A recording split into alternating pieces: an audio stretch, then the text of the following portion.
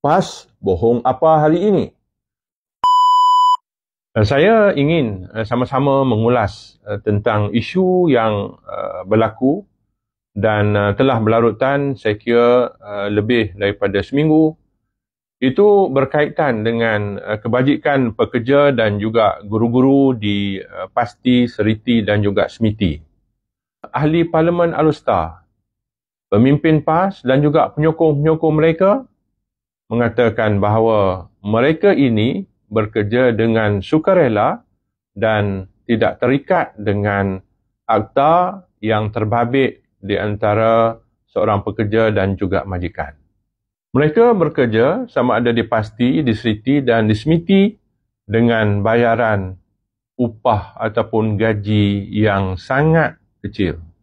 Tidak ada bayaran SOSO, tidak ada bayaran KWSP yang menjadi asas kepada kebajikan seseorang pekerja.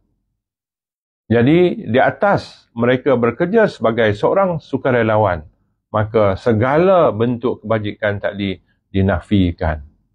Tetapi kita masih ingat apa yang berlaku pada 2022. Dikala pada masa itu timbalan Menteri Sumber Manusianya adalah daripada pendang mewakili PAS.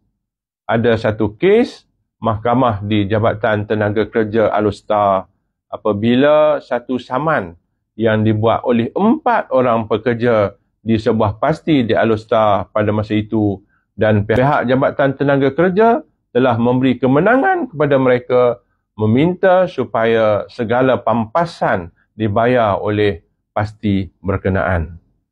Jadi saya kira apabila Mahkamah Jabatan Tenaga Kerja telah membuat keputusan, maka inilah yang seharusnya dipakai.